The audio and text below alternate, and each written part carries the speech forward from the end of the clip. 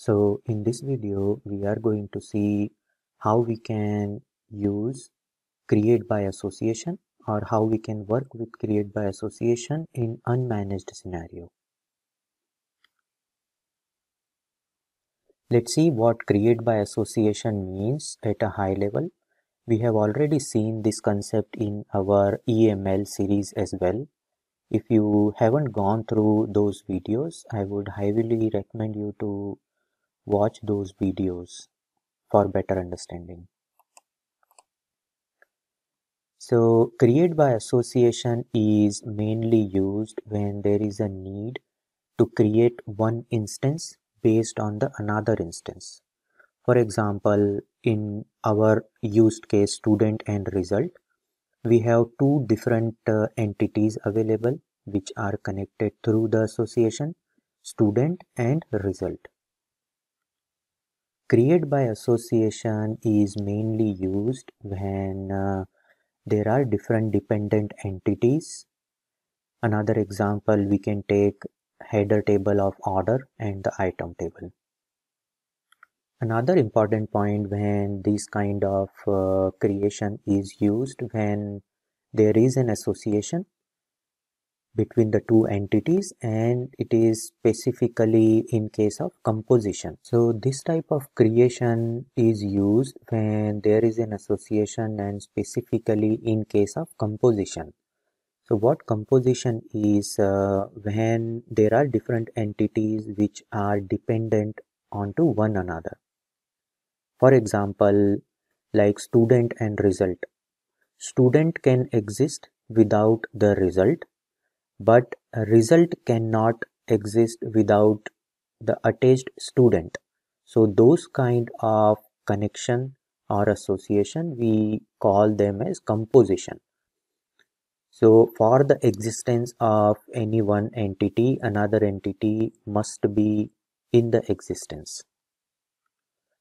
So in this type of scenario create by association is very important because entity linked with composition cannot exist alone. When we were working with uh, managed scenario, system was taking care all of these things. When uh, we were creating an association we have created similar kind of application.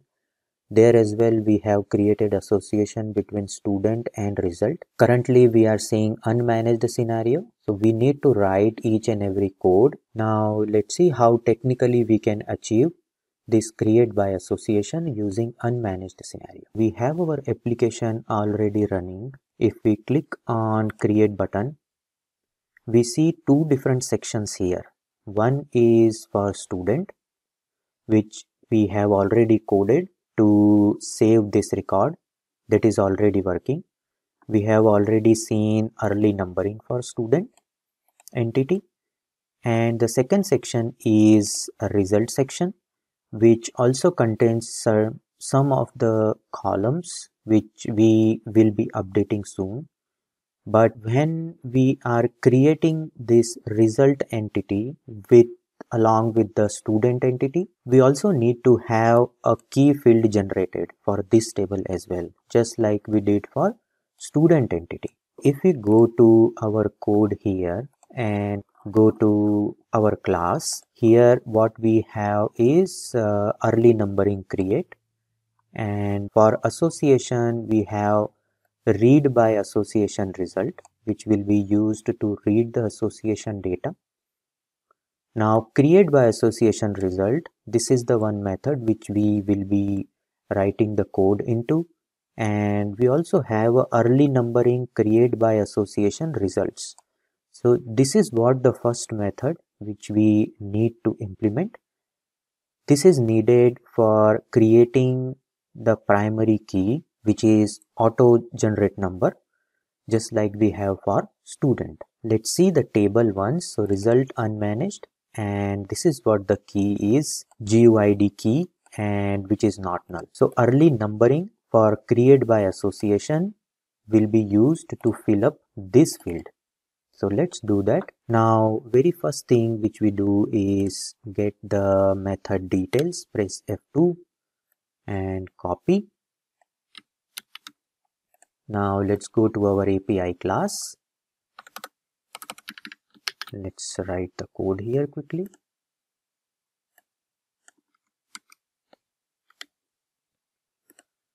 The very first parameter is type table of and the results. So very first thing delete all of these which are not required here.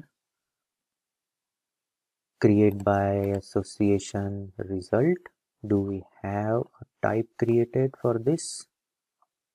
No we do not have. Let's create a type here import type and then tt underscore create by association results. Copy.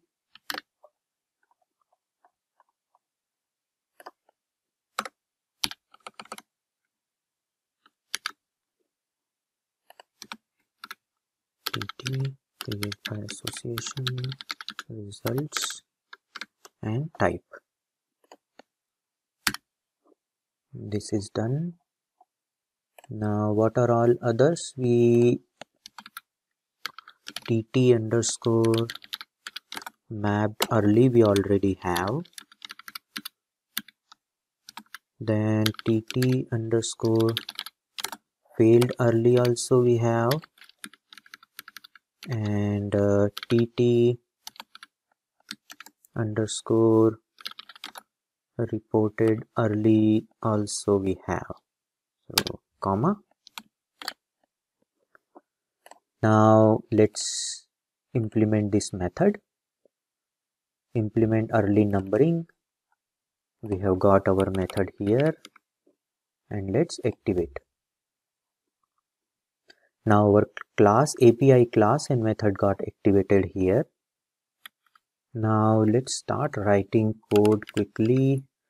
Very first thing which we need to understand here is how the structure is for this method. Let's press f2 here. And if you see here we are getting the same entity. We have three changing mapped failed and reported.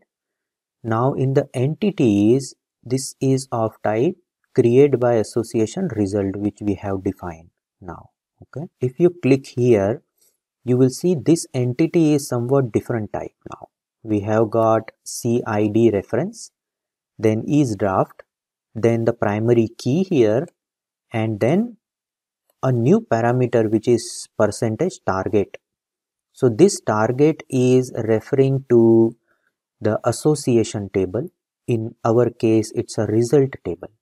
If you see here, type table of create association.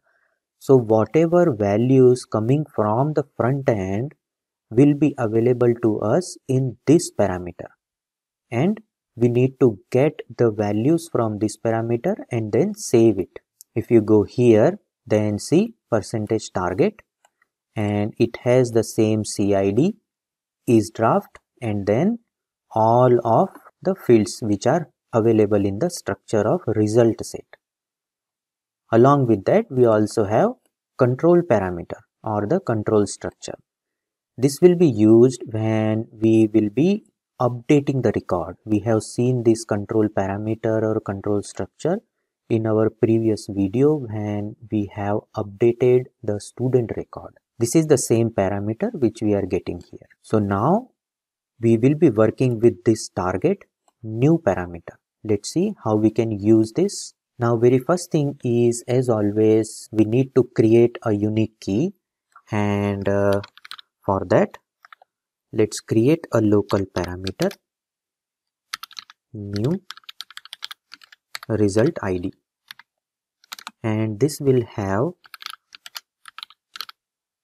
get next id which will generate a unique GUID number for the result.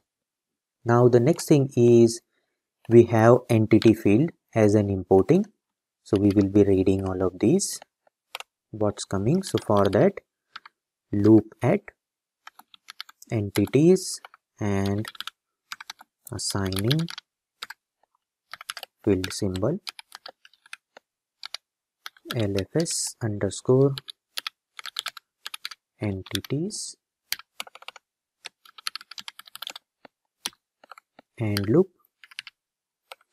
Now the next thing is uh, since we are uh, running create by association we also need to pass the values in the target table which we have seen right? So this target table we need to fill the value in this structure. The minimum things which we need to fill here is our primary key which we have already generated here new result id this will go in this and then this is our cid then is draft field. So these are mandatory field which we need to pass whenever we are working with the create operation.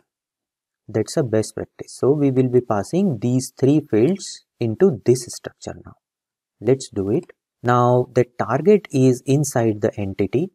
So what we are going to do here is let's run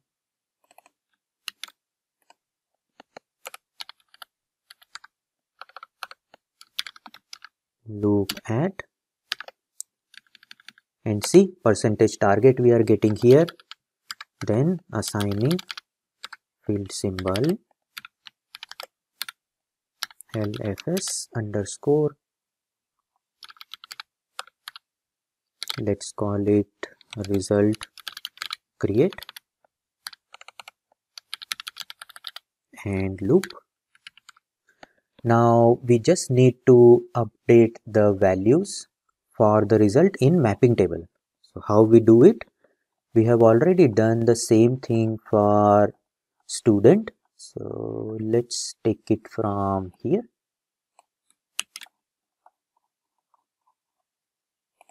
and paste but this time we need to update this value for result set and let's change the field symbol.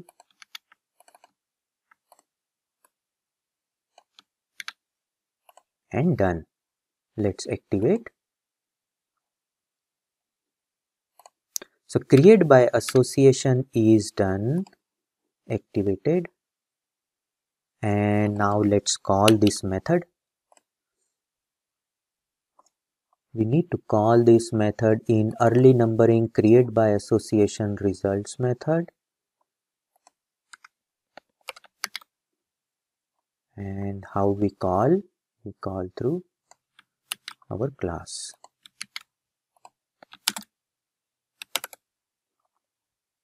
See we got all of these things entity then mapped failed and reported.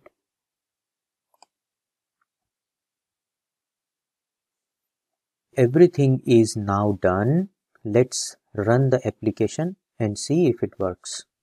Double click and uh, okay so our at least application is running.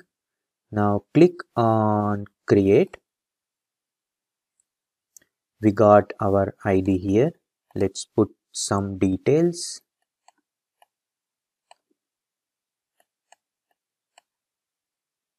Student age course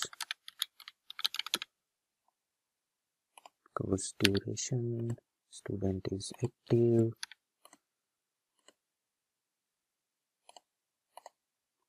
Now let's click on this create button and uh, what the expectation is we should see a key generated for the ID of result set. So let's click on create.